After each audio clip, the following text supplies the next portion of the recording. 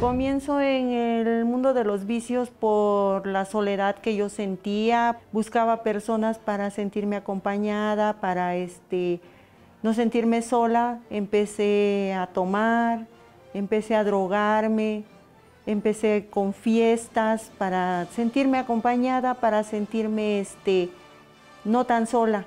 Pero eso me fue arrastrando, arrastrando, arrastrando, hasta que llegó un momento que pues todo lo que yo ganaba lo convertía todo en, vicios para tener amigos. Después de una fiesta pues yo me quedaba sin dinero, tenía que buscar monedas para yo comer o comprar drogas, porque pues la droga cada vez este, me era más este, indispensable para mí, porque pues la comida como quiera, pero la ansiedad de la droga era más fuerte. Entonces yo tenía que buscar monedas o me llegué a prostituir para, este, para tener para drogarme. A ese grado llegó este, mi drogadicción y el alcoholismo que yo tenía. Mi autoestima estaba por los suelos. Yo me sentía una persona sin valor, una persona fea, una persona que yo sentía que nadie, nadie me iba a tomar en serio porque nada más me buscaban para, pues para pasar el rato. Y nada más porque este, pasándose el momento del alcohol, de la droga, pues nadie se quedaba más conmigo, yo seguía sola, yo me sentía sucia, yo me sentía despreciada, yo sentía que no valía nada.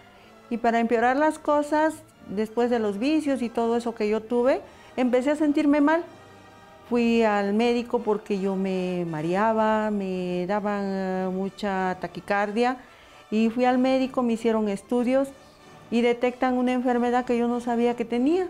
Me dicen que tengo hipotiroidismo, que tengo un nódulo en las cerquita de las vías respiratorias y hacen un estudio y resulta que ahí tengo cáncer y es maligno. Entonces, pues todo empeoró todo empeoró porque yo me sentía muy mal, el pelo se me empezó a caer, eh, quedé casi sin pelo, entonces pues todo, todo, todo, todo fue decayendo en mi vida y yo fui cayendo y fui cayendo y pues yo dije hasta aquí llegué, porque pues hablan de cáncer y es muerte. Entonces dije ya no me queda de otra, yo, yo ya, ¿para qué sigo sufriendo? ¿Para qué sigo con estos malestares? Ya no puedo ni trabajar, ya este, quiero estar nada más encerrada. Entonces tomé la decisión y dije, pues me voy a suicidar porque ya no hay salida.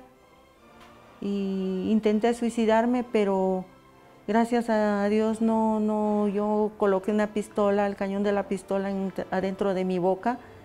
Yo mordí la, el cañón para que no fallara y jalé del gatillo y la pistola no, este, no disparó.